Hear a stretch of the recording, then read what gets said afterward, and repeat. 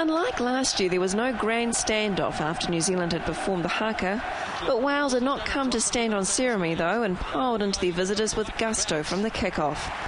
And the All Blacks are 10 metres out from their own 22. Rival first fives Dan Carter and Stephen Jones kicked two penalties apiece in the opening half. And despite being level 6 all at the break, the All Blacks always look stronger. It was a, a, good, tough battle that first half. You know, they came out with a lot of passion, and I, I felt we matched it really well. Um, and we felt if we could just, you know, keep getting on top, hold the ball, then um, maybe they'd tie later in the game. New Zealand restarted with ominous intent. Fields away. He's got good pace, Brendon Leonard. Now Muliaina and Carter's stepping up to continue his 100% record. 56 minutes, the All Blacks finally broke through. The All Blacks looking good here. They're only five metres short of the line. They're looking for the first try of the day, and I think that's over the line. It is. Now, let's see who comes up with it. Andrew Hore it is. Now, with a 10 point gap to shield the New Zealand surged forward, and Wales had to endure two nail biting TMO decisions in quick succession. Might have been Shane Williams got his hands in there, is it, in his boat?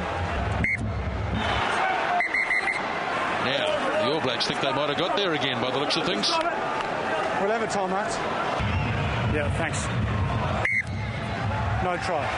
Yeah, I snuck over it. Obviously, no one can see that, but uh, I don't want to be greedy and walk away with a win. I'm a pretty heavy man. I think if we'd put it over the chalk, then uh, it would have made it a bit easier in the coaching box anyway. New Zealand still forced a penalty, and Carter took his afternoon's tally to 14 points with a quarter hour remaining. Stephen Jones reduced the deficit with a long range penalty before Carter became public enemy number one in Cardiff. Oh, big tackle for Dan Carter, blindsided him. Maybe a touch high an effective tackle all the same. Not often that Dan Carter gets booed.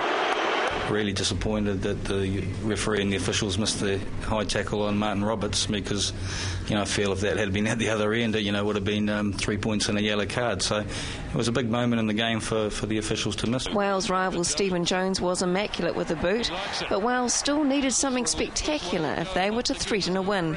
Gives it back to Carter,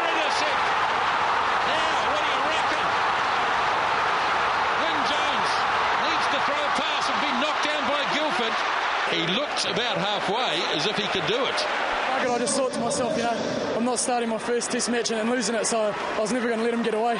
Wales again fell agonisingly short and will have to wait another year. If you had looked at this performance in the past, they would have been pretty happy with that. You know, losing the All Blacks by was it seven points or whatever it was, and uh, you know only conceding one try and, and being in the game at half time, they've been slapping each other on the back. Guys on the change room are really disappointed, they, and uh, that's the way you want it to be. We're getting at the stage now where we can compete for 80 minutes with the best teams in the world, and that's what we're trying to do, you know. We're, but it just wasn't meant to be, was it?